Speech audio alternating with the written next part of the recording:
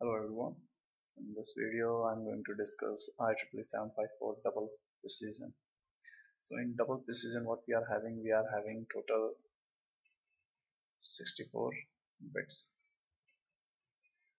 and these 64 bits are actually divided into groups like the first bit this bit is actually used for sign so sign can be positive or it can be negative. So for positive sign 0 bit is used. For negative sign 1 bit is used.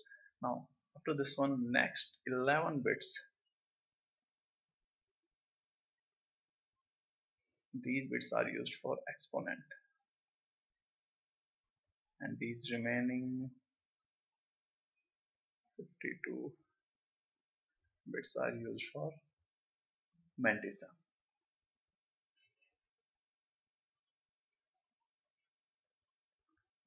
Okay, let me draw some more of this.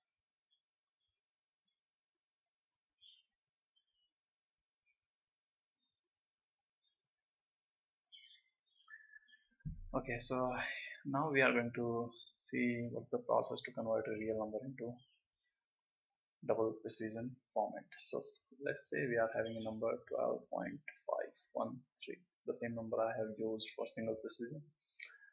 So first of all, first thing you need to see what's the sign. So sign of this number is positive, it means the sign bit will be 0. Second step, you need to find a binary equivalent of this number. So how to find binary equivalent? Well, first we need to write the binary of 12 which is 1010 and then we need to see what's the binary for 513. So here I'm going to show you the process. This number is actually multiplied with 2 and this is let's say the result 1.026. So the this this digit is taken out and written here and the remaining part multiply with 2 again 0.52 so before point there is nothing. So we can consider 0 we will write here 0 0 5 2 again we will multiply it with 2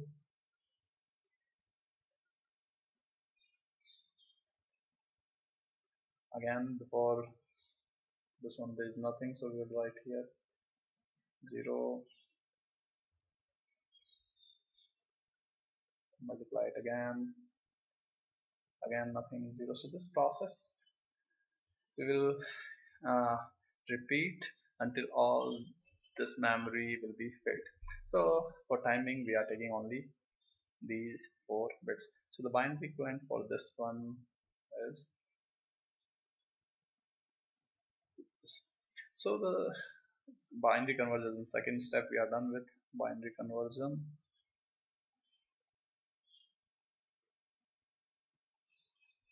so the next one what we need to see next you have to perform normalization.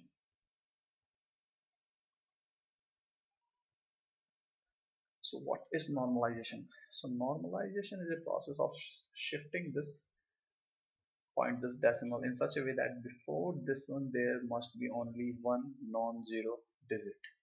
So if you can see here if I shift this point here after 1 so before point there will be only one non-zero digit. So if you remember in decimal number system if we are having a number like this and if I write it in this way I can I have to write like this one okay? Because then in decimal the base is 10 and we are shifting this decimal in left side of two places so we need to write here 2 so similar way if we are shifting in decimal at this point in left side by three places what we need to write? We need to write 1.0101000 multiplied to the power 3 so normalization is the process of uh, shifting decimal point in such a way that before this one there must be only a single non-zero digit so now the fourth one is the add bias. So in double precision the bias of 1023 is added in the exponent. So what is the exponent we got? We got 3 so the number we have to store in exponent bits are 1026 so the one binary of this number will be stored in exponent